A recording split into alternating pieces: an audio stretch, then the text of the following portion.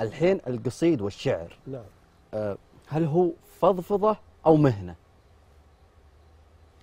ما تقدر تقول إنه هي هي داخل الإنسان هي تعتبر طبعا بعضهم حب لهالشيء هذا. إيه. فاحيانا تقول القصيدة هذه من داخلك هي مشاعر ما هي على كيفك هي.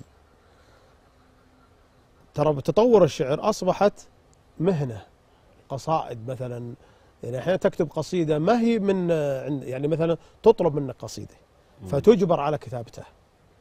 بينما أنت الشاعر الشعر يميز بأنه أكيد أكيد. أحيانا بعض القصائد تطلب منك كمناسبة معينة كحفل كاوبريت رسمي مثلا كاوبريت فتطلب منك القصيدة هذه. أنت يعني آه، الشاعر آه، يعني مثلا اللجنة آه، تطلب منك المحاور أو اللوحات الفلانية فأنت تكتبها. أصبحت مهنة.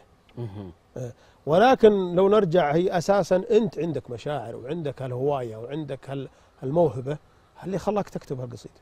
صحيح. ولكن بعض الناس يعني ما يجي شاعر بدون مشاعر أو بدون إنه عنده هالموهبة أصلا. صحيح. أه، تطورت وأصبحت مهنة حيث انه تكتب القصائد المطلوبه يعني. جميل. أضيف عليك أبو سعود معليش أحمد. أسلم.